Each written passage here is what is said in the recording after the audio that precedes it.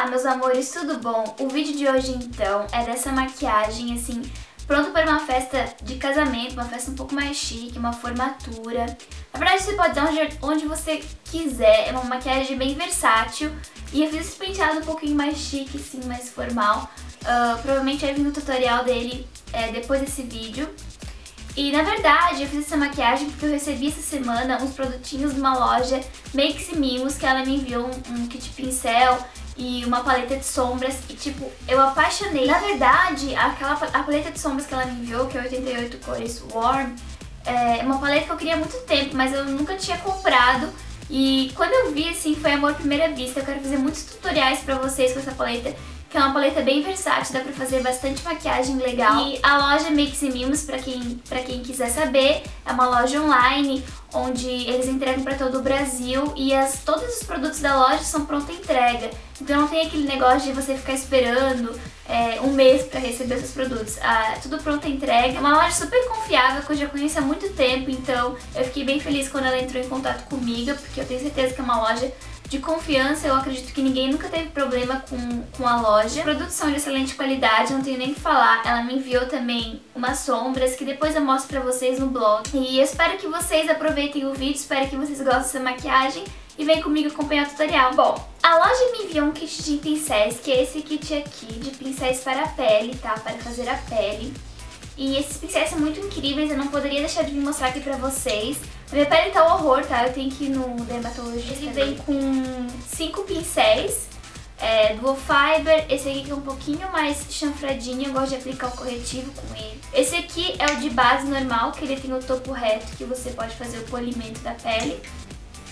Esses dois aqui você pode escolher. Eu gosto desse aqui, aplicar tipo um bronzer, fazer o contorno da pele com uma base mais escura. E esse aqui eu gosto de passar ou iluminador, se for cremoso, ou às vezes só é, ajudar a espalhar o corretivo, enfim. Antes de tudo eu vou aplicar um primer, no caso eu vou usar esse aqui da Colos, que eu gosto bastante dele, tá? Um pouquinho bastante. Eu gosto de aplicar no rosto todo, tá?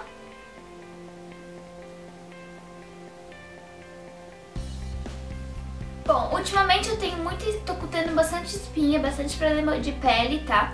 Então, eu gosto de aplicar o corretivo antes Caso da base. eu aplico um corretivo que ele é um pouquinho mais denso, tá? Eu pego nesse pincel chanfradinho e eu venho assim, ó, no lugar onde eu tô com bastante espinha e eu gosto de aplicar ele escondida melhor, assim, camuflada melhor. Essa dica só é válida para as meninas que têm, tipo, espinha é, ou manchas na pele, assim. Se você só tem problema com olheira, pode aplicar o corretivo depois também. Bom, agora eu vou aplicar a base, tá? Eu venho assim, ó, é, primeiro espalhando em todo o rosto. E na verdade a dica desse pincel, muitas meninas não sabem usar ele. O que, que você tem que fazer? Você tem que primeiro bater ele na pele, assim, toda a pele, e dando batidinhas e tal, pra depois começar o polimento, pra base fixar melhor. Eu gosto de fazer assim.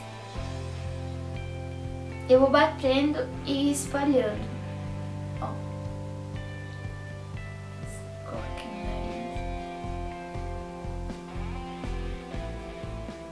Essa base tá um pouquinho mais escura que a minha pele, mas é porque minha pele do rosto ela é mais clara que minha pele do corpo, tá?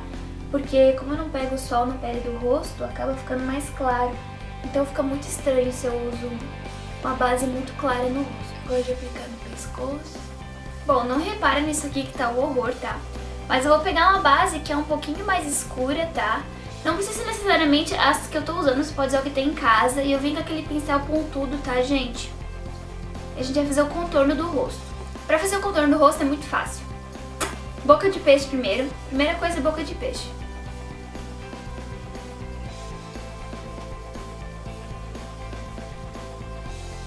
E vai subindo pra raiz do cabelo. Gente, isso aqui é uma coisa bem leve, tá? Tipo, eu sei que tá parecendo na câmera aqui, tá pesado, mas calma. Que eu já vou esfumar tudo. E eu gosto de vir aqui também Agora vem aqui no nariz também bem leve, assim, é só o que tava sujinho no pincel. O nariz eu prefiro fazer mais com o pó mesmo, que a gente esfuma melhor. Volto com aquele pincel que a gente tinha aplicado a base antes e só vou dar uma esfumada em tudo pra ficar mais sutil. Bom, vou aplicar um pouco de corretivo. só nas olheiras, em cima do nariz. Eu vou espalhar com aquele outro pincelzinho redondo. O bom é que você pode usar vários pincéis, tipo sujar. Não tem problema algum. Eu vou pegar o Duo Fiber que vem no kit pra aplicar o pó, tá? Então você vai fazendo assim, ó, pro pó entrar em todas as cerdas e vai aplicando no rosto.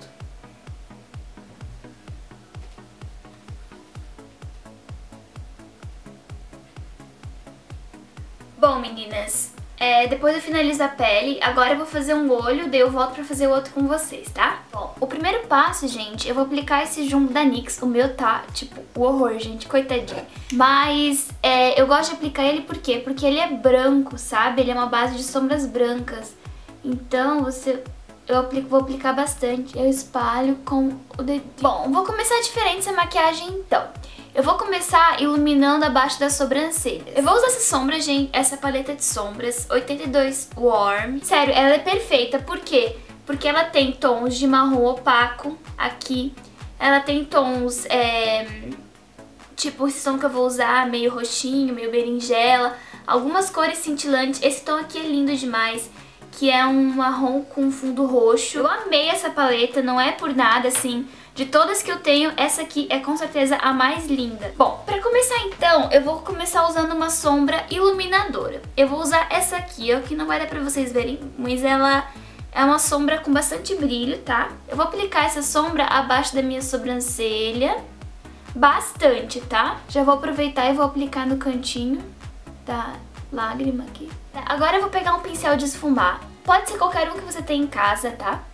E eu vou começar usando essa sombra aqui. Essa sombra aqui, ela é tipo assim, um marrom, puxado por um, um roxo, assim, com fundo bem... Essa sombra é linda. Gente, essa sombra é muito linda, sério. Eu vou começar aplicando pra fazer o meu côncavo. É, você tem que ir devagar, tá, gente? Vai aplicando devagar, sem muito esquema, indo e voltando. Todo o seu côncavo. Ó, fecha o olho e aplica já aqui, fazendo, fazendo tipo um V, estão vendo? E aplica no côncavo.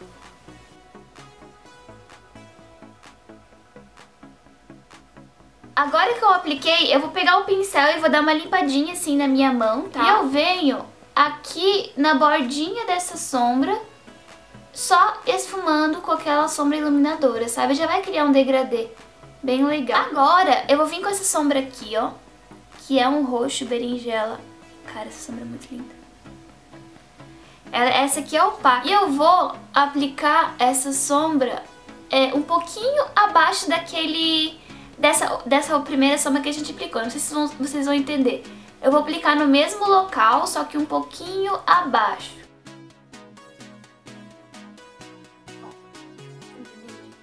E devagar, tá?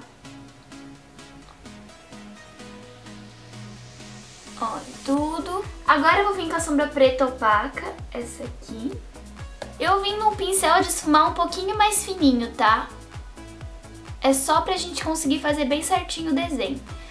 Eu vou fazer o mesmo, naquele mesmo local com o preto, só que eu vou deixar acumulado um é, mais aqui no canto final, ó. Então eu vou bater no preto aqui, ó, só aplicando. E agora eu vou fazendo tipo um côncavo, só que eu só vou até... Deixa tipo... Eu vou deixar mais preto aqui pro final dos olhos.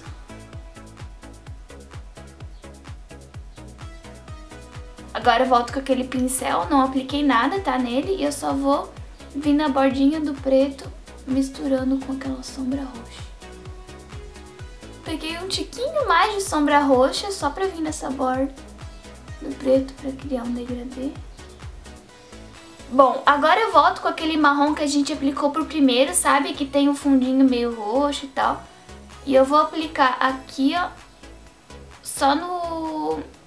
Nessa transição do preto com a pele mesmo. na pálpebra móvel, tá? Eu não vou vir até o cantinho, só aqui assim, ó, pra fazer um... Um mesclado bonito. Bem de leve. Gente, eu vou aplicar delineador, tá? Vou aplicar, vou passar um delineador. Você pode passar o delineador que você preferir, que você acha mais fácil. Eu vou aplicar um líquido mesmo, só pra fazer um delineado. É, sem muito esquema esse delineado, tá? Não vou fazer gatinho nada. E aqui no final, gente, eu vou voltar com aquele pincel preto de sombras. E eu só vou vir aqui, ó, sabe no final do delineado? Ó, tipo esfumando, sabe esse delineador? Pra ele, tipo, mesclar. Embaixo eu vou aplicar o lápis preto. Eu vou aplicar dentro da linha d'água e bastante por fora. No pincel mais durinho assim, ó. Pode ser qualquer um, tá? Eu vou vir naquela sombra roxa, aquela opaca, e vou aplicar... Vou, tipo, esfumar esse delineado e aplicar todo aqui embaixo. O erro de muitas pessoas numa maquiagem é esse acabamento final aqui, que as pessoas normalmente não fazem, né? Eu vou vir com o pincel desfumar naquela sombra roxa de novo e só vou aplicar aqui, ó. Só pra terminar de esfumar tudo e deixar tudo igual. Aqui assim, a gente, no finalzinho. De glitter, eu vou usar esse delineador aqui, ó, que ele é um delineador em glitter da NYX. Lindo de morrer. Que tem esses brilhos fruta-cor, assim, meio prateado. O que, que, eu vou fazer, gente? Eu só vou aplicar... Pera aí, espera só um momento. Então, o que eu vou fazer? Eu só vou aplicar aqui, tá? No cantinho e aqui assim. E pra baixo. Antes que seque, eu venho com, com um pincelzinho normal, qualquer um mesmo de aplicar. Eu só vou, tipo, espalhando esse, esse delineador pra ele ficar, tipo assim, mais acumulado aqui e, e sumindo, assim entendeu? Pra cá, pode, pux pode puxando assim. Vocês entenderam o que eu tô falando? Agora eu vou aplicar máscara de cílios bastante. Se você for assim, tipo, usar em alguma festa especial, eu recomendo vocês a passar... Passar, colocar cílios postiços que vai ficar lindo. Bom, agora vamos finalizar a pele. Eu vou aplicar um pouquinho mais de corretivo aqui, tá? Porque como a gente usou é, preto e glitter e uma sombra que é tipo roxa, assim, pra, é bom tá bem corrigidinho a olheira, sabe? Pra não ficar muito estranho, assim. Principalmente pra quem tem muita olheira, eu aconselho a deixar tudo bem corrigidinho. Bom, eu vou pegar um bronzer meio opaco, tá? Naquele pincelzinho lá. Eu vou fazer o mesmo procedimento de contorno e tal. É... Por quê? Porque a gente fez com a base e depois a gente vai fazer com o em pó. Porque a duração vai ser muito maior, tá, gente? Só o iluminador, que não pode faltar, tá? Bem aqui.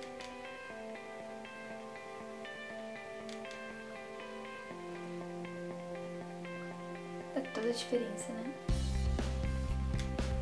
Aqui na boca. Quando eu uso sombra, assim, puxada pra um lilás, assim, roxo, eu não gosto de passar batom rosa, tá? Porque eu acho que senão fica parecendo muito a Barbie.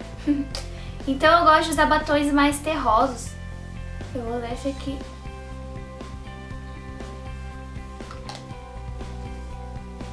Bom, essa é a maquiagem final. Eu espero muito que vocês tenham gostado. É, clique aqui embaixo, no link aqui embaixo, que vai direcioná-la ao meu blog, que eu vou deixar no box de informações. Para você saber todos os produtos usados, os nomes, é bom você entrar lá, porque você uh, se vai... você gostou dessa maquiagem, eu convido você a clicar em gostei aqui embaixo e se inscrever aqui no meu canal, tá bom? Espero que vocês tenham gostado. Um beijo pra vocês. Tchau!